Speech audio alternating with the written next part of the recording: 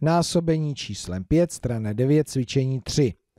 Přečteme si zadání. Jakým způsobem vypočítáme, kolik předmětů měl Tony? Správnou možnost označte křížkem.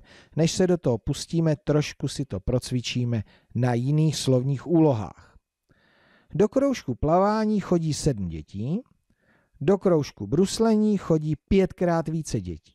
Kolik dětí chodí do kroužku bruslení? Chvíli počkám a vy mě napovíte.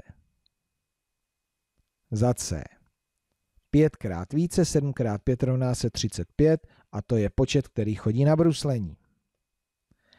Denis ujel na kole 8 kilometrů, Karel ujel o 5 kilometrů více než Denis. Kolik kilometrů ujel na kole Karel? Chvíli počkám. Za A. 8 plus 5 rovná se 13. Karel ujel 13 kilometrů.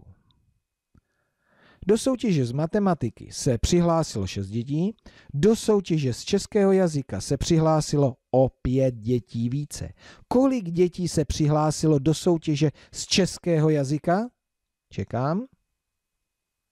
Opět Ačko. 6 plus 5 rovná se 11, čili v soutěži z českého jazyka je 11 dětí.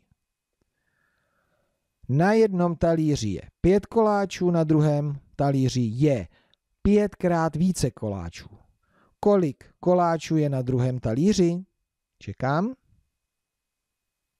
Za D. 5 krát 5 rovná se 25, na druhém talíři 25 koláčů. Babička upletla čtyři páry ponožek, teta Klára upletla o pět párů ponožek více než babička. Kolik párů ponožek upletla tle, teta Klára? O pět párů více. Mhm, tak, kolik? Tentokrát je to 9. 4 plus 5 rovná se 9. Že by teta Klára upletla 9 párů ponožek? Asi jo. Sandra má 10 korun. Olga má pětkrát více korun než Sandra. Kolik korun má Sandra? Počkám. 10 krát 5. 50 za C. Sandro, máš 50 korun, my máme hotovo, máme to správně, takže zavíráme a jdeme sem. Lukáš měl 6 pastelek, Tony jich měl pětkrát více. Co vybírám?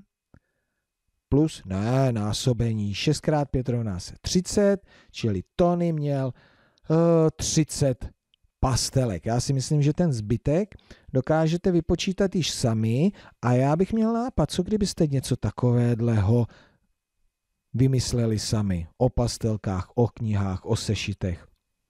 Zkuste to.